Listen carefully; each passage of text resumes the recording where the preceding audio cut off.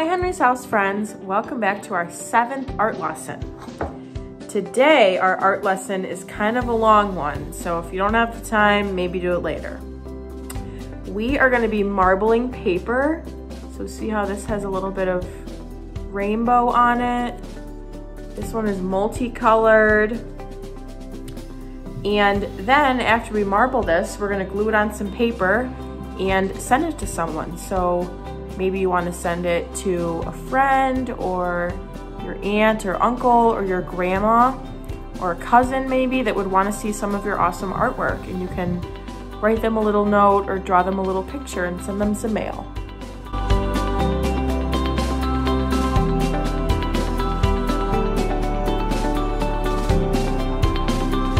So for today's lesson, you're gonna need some black and white paper, some scissors, you can grab a glue stick or tape is fine. Those are my completed ones. You need some toothpicks. I have flat ones, but any kind of toothpick is fine. And then I just have a regular size bowl with some water in it and I filled it up to about there so there's a little bit of room on top. And our last material is nail polish. For the black one, you're only gonna use clear nail polish but for the ones that we do on white paper, you can use any color.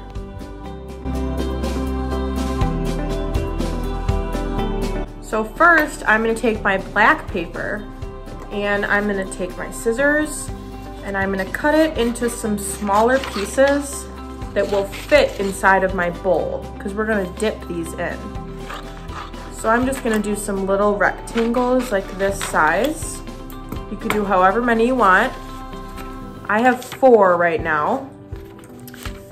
And I'm gonna do the same thing with my white paper. I'm gonna cut it into my little rectangle shapes that will fit in my bowl.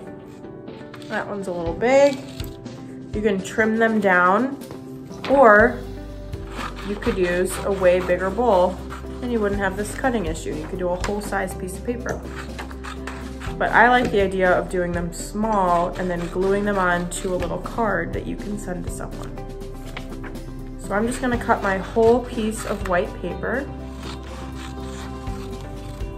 All right, so step one is done after you have all your little squares of paper. Okay, so our first one we're gonna do with black paper. And remember from the beginning, we had our clear nail polish. So I'm gonna unscrew the lid and I'm gonna let one drop fall right in the middle. There was my one. Now I'm gonna take my black paper, I'm gonna press it down and really get it, get it submerged. It will dry, so it's all right. All right, so it curls a little bit, but when it goes like that, you can see our little rainbow. So I see a lot of my rainbow over here and on the edges by my left thumb, so this is our first one on black paper. I'm gonna set this to the side and let it dry. All right, so our next one, we're gonna use our white paper.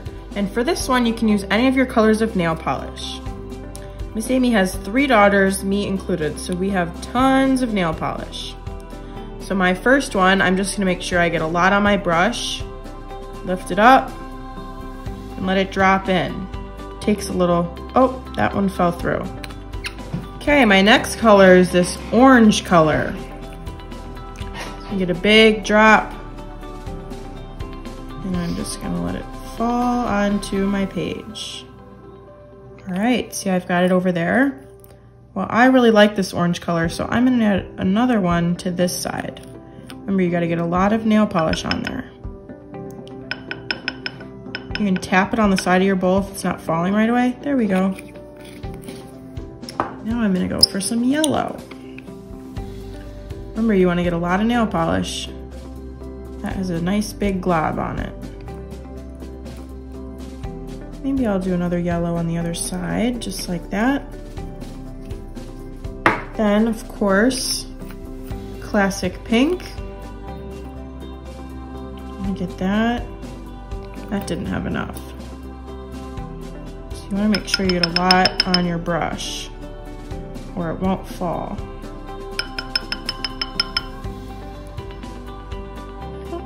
And there's my pink dot. Okay, here's another cool color I have, some purple. Ooh, this one's brand new, so I can make a lot of dots with this one and they will come right out. That was a good one. All right, so now I'm going to take my toothpick and I'm just gonna drag it through some of these colors. Some of them seem to have already dried, but that's okay. This over here that's kind of sticky is our that's our shiny blue one we had in the beginning. if it gets too much on your toothpick, you can use your fingers. All right, so over here I've got some cool colors swirling. So now I'm gonna take my white paper, I'm just gonna place it over the top. Hopefully it's gonna get all my colors on it. So you press it down for a minute and when you lift it up, you have some really cool marbled paper. So I'm gonna do a couple more of these. So you can see what a couple more look like. All right, so through some experimentation, we have found that it may be helpful to have a second set of hands help you with this. So I have my sister here to help me, and we're both gonna drop the colors in to move a little quicker. So we've got some green, some purple coming in. I really liked the orange from last time.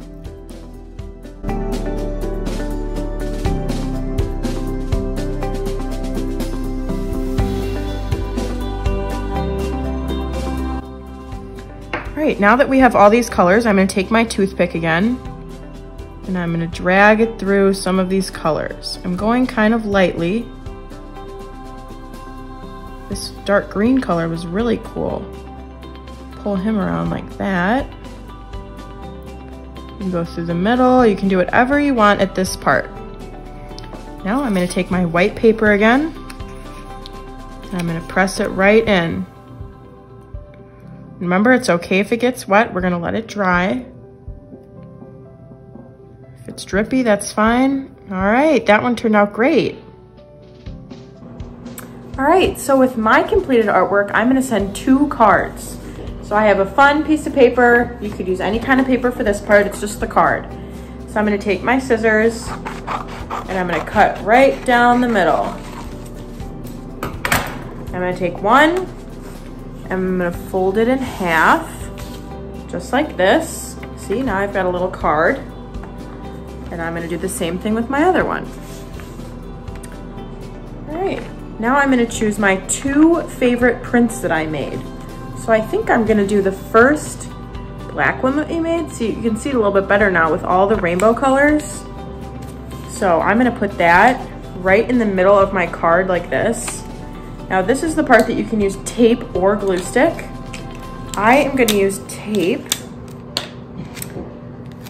Mm, you wanna make sure that your paper is dry. So this is the first one I did, so it's dry already. So I'm just gonna put some tape on the back here. And I'm gonna put it right in the middle of my card. Looks like I need one more piece of tape.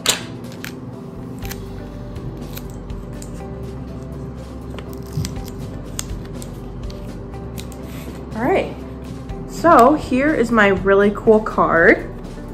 And then I'm gonna get a pen And I don't think I'm gonna write anything on the outside. Or I could write hello. You could write hello, you could write miss you. I'm gonna write mine to my Aunt Gayla. So I'm gonna open up my card like this. I'm gonna write her a little note.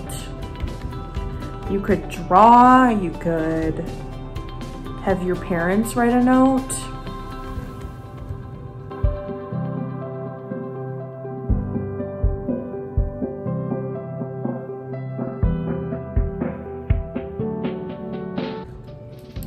All right, so now my first card is done. So I've got this one. I'm gonna set it over here. And now I'm gonna find my other one that I really liked. I really liked the last one that we did. So I'll bring it closer so you can see it. It's got all these cool colors on it. There's some glitter. So this was a really good one. So I'm gonna put it right in the middle. And same thing. This one I'm gonna tape on the front.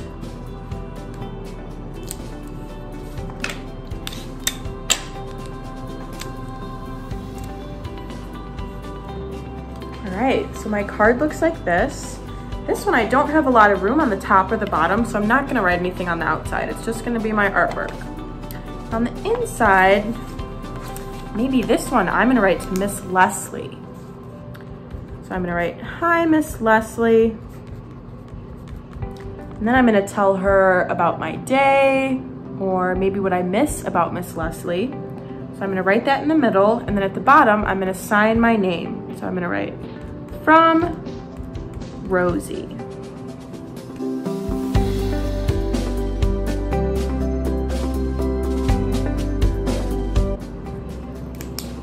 All right, so now I have my two completed cards.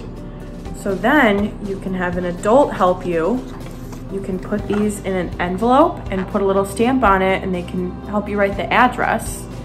And hopefully you send it to someone. They're gonna be so happy to see your awesome artwork. So I'll give you a close up of my two and how they look.